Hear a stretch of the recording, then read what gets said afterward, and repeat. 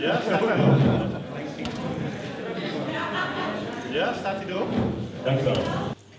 Het, de wijkvereniging Indië Almelo. Ik ben Loek Mendels en heb samen met Bert Waterink en Theo Horstman de voorbereidingscommissie gevormd. Speciaal welkom aan de wijkwethouder Arjan Maathuis en de wijkregisseur, Daan, uh, regisseur Hans Radstaak.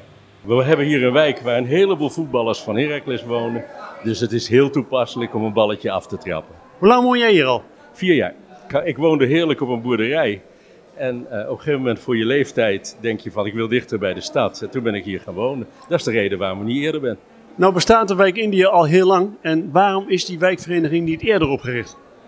Ik heb wel eens gehoord dat de gemeente dus Waterrijk op dat moment belangrijk vond. En dat Indië wel eens een stoorzender kon zijn voor de ontwikkeling van Waterrijk. Toen Waterrijk van de baan ging, toen kreeg, uh, toen kreeg Indië de kans om zich snel te, sneller te ontwikkelen. Ik heb alle vertrouwen in de toekomst en het, het feit dat de stegen en de gemeente uh, meewerken om deze vereniging op te richten, waardoor we dus heel nauw contact hebben, maar ook draagvlak. Ook draagvlak om, uh, om, om met elkaar te praten en de, de probleempunten uh, op tafel te leggen. Ja, in overleg, in overleg bereik je meer dan in het gevecht. En er is een ruime opkomst van de wijkbewoners. Ja, we, we hadden bijna 100 mensen vanavond. Dat is eigenlijk ongekend. Wat ook het voordeel van een flexibel inkomsten? Je zou heel veel andere verdienen, want alles aan in dit land nou, ik vind het heel mooi dat de wijkvereniging is opgericht. Uh, Indië wordt groot 600 woningen. Op dit moment zijn we ongeveer op de helft, zo'n 300 woningen die er staan.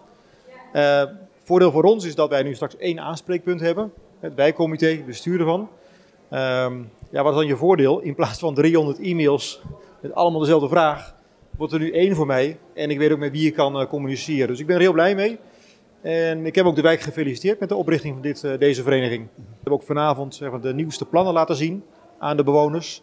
Uh, ja, dan is het wel fijn dat er ook een, soort platform is waar dat kan gaan gebeuren. Ik woon hier nu ruim 2,5 jaar. Indië was bij ons eigenlijk al direct heel uh, erg goed in beeld, omdat ik opgegroeid ben in de binnenstad van Almelo. Ik kan eigenlijk uh, nou ja, zo dicht mogelijk bij het centrum wonen. En dit was een gelegenheid om uh, nou ja, toch een eigen huis te bouwen en eigenlijk op loopafstand van het centrum. Een geweldig mooie locatie.